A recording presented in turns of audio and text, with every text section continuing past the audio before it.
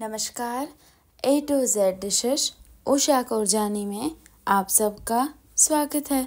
आज इस वीडियो में मैं आपके साथ शेयर करने जा रही हूँ बेसन रवा की इडली, यानी कि बेसन सूजी की इडली।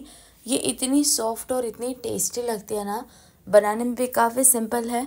आप हमेशा सूजी की तो इडली खाते ही रहते हैं। कभी ये भी ट्राई कीजिए कोई भी चटनी या सांभर के साथ या दाल के साथ बहुत ही बेहतरीन लगती है। बनाना भी सिंपल है, चलिए शुरू करते हैं। उसके लिए मैंने एक बाउल ले लिया और इसमें मैं डाल रही हूँ बेसन। तो दे, देखिए, दो कप आपको इसके अंदर बेसन डालना है और आधा कप रवा, यानी कि सूजी। अब देखिए, सूजी आप बारीक वाले इस्तेमाल कर सकते हो और मोटी वाली भी, जो आपके घर पे अवेलेबल हो। आधा कप दही डालेंगे, स्वाद के अनुसार नमक, आधी छोटी चम्मच हल्दी पाउडर, एक कप मैंने पानी डाल दिया है और इसे हम अच्छे से मिक्स करेंगे। देखिए मिक्स करने के बाद एक और कप मैंने इसके अंदर पानी डाला है। टोटल मैंने इसके अंदर दो कप पानी डाला है। अच्छे से मिक्स करते जाएँगे। देखिए, ये बेसन सूजी की इडली है। तो इसके अंदर जो बेसन के लम्स हैं, यानी कि गुठलियाँ है, वो हो सकेंगे, क्योंकि बेसन ऐड किया है। तो आपको अच्छे से मिक्स करना है, ताकि कोई भी लम्स ना रह जाए। और इस तरह से हो जाएगा बैटर और इसे ढककर हम रखेंगे पंद्रह से बीस मिनट के लिए। कम समय है तो आप दस मिनट भी रख सकते हैं। जब तक इसे हमें रखा है, हम टाइम वेस्ट नहीं करेंगे। दूसरी साइड देखिए, एक बर्तन रख दिया है गैस को ऑन करके।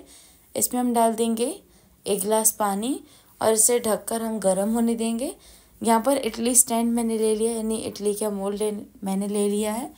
इसको देखिए, इस तरह से खोलने के बाद इस पर हम बिल्कुल थोड़ा थोड़ा सा तेल लगा लेंगे।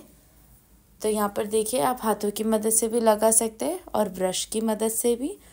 उसके बाद यहाँ पर पंद्रह से बीस मिनट हो गए लगभग तो ढक्कन को हटाकर बैटर को एक बार मिक्स कर लेना है।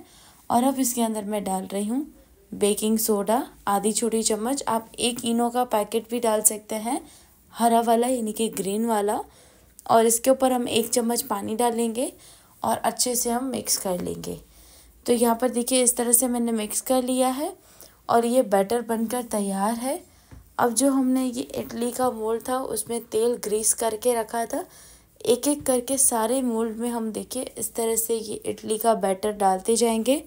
जैसे कि मैंने आपको कहा, ये इडली बनाना बहुत ही आसान है और खाने में सच्ची में ये काफ़ी टेस्टी लगती है। देखिए, इस तरह से करने के बाद मैंने एक और ये मोल्ड ले लिया, यानी कि सांचा ले लिया है। इसमें भी हम ये बैटर डालते जाएँगे और एक ही बार में ये सांचे में ना बीस यानी कि ट्वेंटी इडली बनती है, बीस इडली बन जाती है।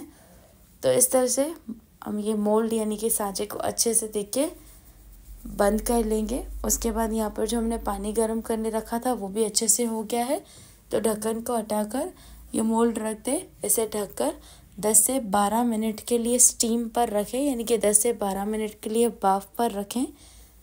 उसके बाद आपको इसे चेक कर लेना है, ढक्कन को हटाकर। अगर चाकू यानी कि नाइफ़ एकदम क्लियर निकल रहा है, समझ लीजिए आपकी इडली बनकर तैयार है, तुरंत ही इसे सांचे में से यानी कि मोल्ड में से ना निकालें, इसे बाहर रखकर ठंडा होने दें पूरी तरीके से, उसके बाद निकालें। देखिए, अगर आप तुरंत निकालते हैं ना तो उससे दो बातें होगी।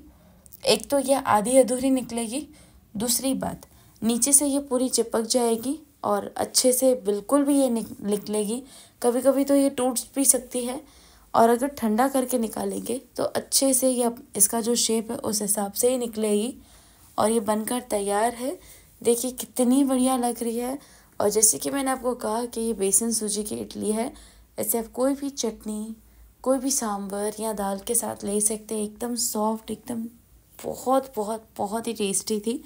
तो ट्राई कीजिए। और जाते जाते मेरे चैनल को सब्सक्राइब करना बिल्कुल ना भूलें। आज के लिए बस इतना ही। Thank you for watching.